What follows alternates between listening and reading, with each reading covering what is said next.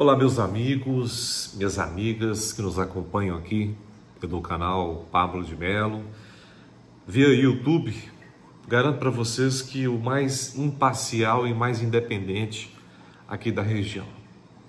Bom, eu tive que interromper o meu descanso no domingo. Né? Domingo é dia de descansar, dia de ficar com a família, porque não dá para esperar para amanhã ou para depois para poder externar minha indignação contra um cidadão que eu sempre tive uma concepção completamente diferente dele. É, já havia me relatado algumas vezes esse tipo de comportamento, mas eu sempre fui muito cético. Falei, não, mas jamais ele teria esse comportamento. É, um ex-vereador que foi recordista, inclusive quando eleito, é, de votos, uma votação assim estrondosa. Foram, se eu não me engano, na época, mais de 1.700 votos. É, inclusive, eu fui candidato na mesma é, coligação com ele, no mesmo partido, que na época era o PT do B, que hoje é o Avante.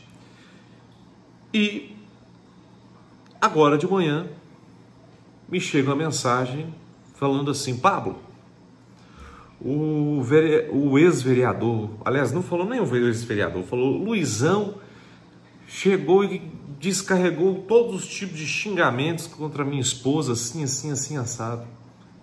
Eu falei assim, mas como assim, Luizão? Minha cabeça chegou a girar e eu pensei mil, mil. Eu até pensei em um colega que eu, que eu gosto de chamar de Luizão. Eu falei, não, mas, mas que Luizão que você está falando? Você está falando do ex-vereador, Luiz Carlos? Luizão, o ambientalista, essa pessoa é, que, que, praticamente plantou todas as árvores ali na beira do copo sujo, uma pessoa tão querida assim. O que foi? Surtou? Gente, pasmem, ele mesmo. Quem talvez não conheça, passe a conhecer. Ela se chama Joelma. Ela já trabalhou muitos anos no supermercado uh, muito conhecido na cidade, ali na Avenida Manuel Ataíde, próximo ao sinal.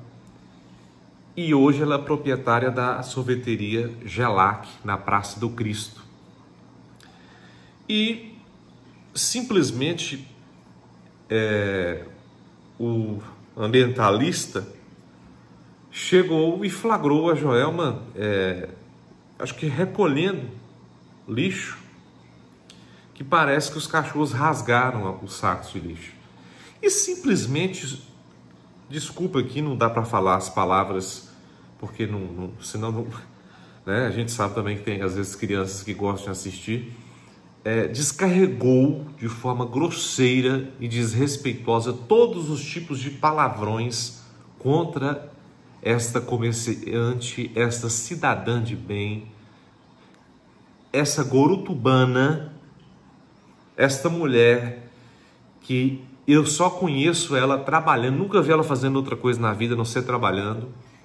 E eu recebi esse comunicado através do esposo dela, Yuri, que é proprietário da Gelac, lá da Praça da Alimentação. Gente, eu fiquei horrorizado. Porque quando você é xingado por um doido, quando você é xingado por alguém que, sei lá, que não, não representa nada, você não dá muita importância.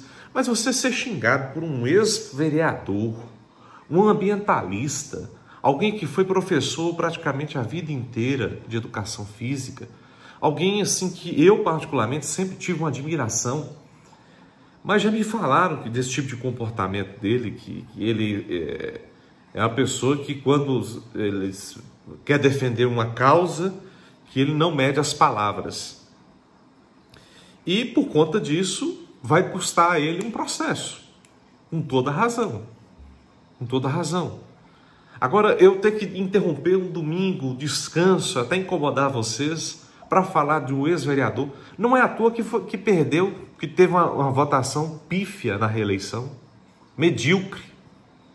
Um dia eu flagrei ele na, na Avenida do Comércio, porque depois que ele virou vereador, ele deu uma sumida, né?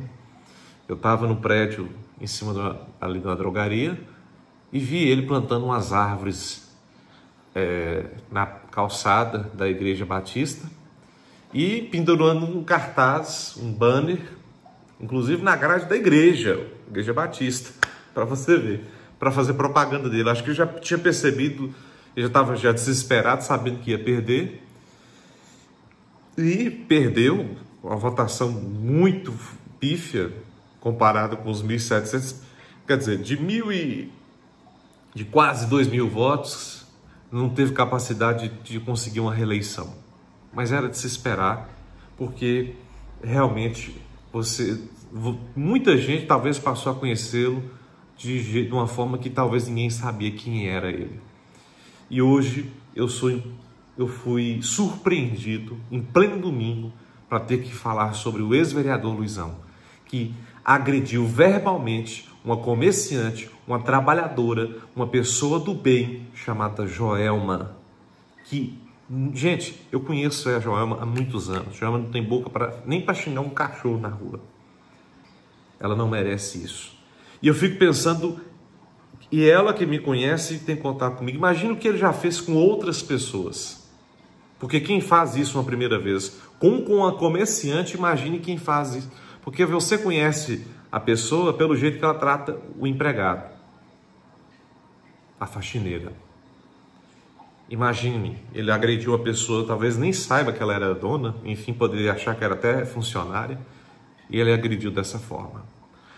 Lamentável ter que interromper o domingo, dia de descanso, para falar sobre essa notícia. Luizão, ó, Infelizmente, nota zero para você.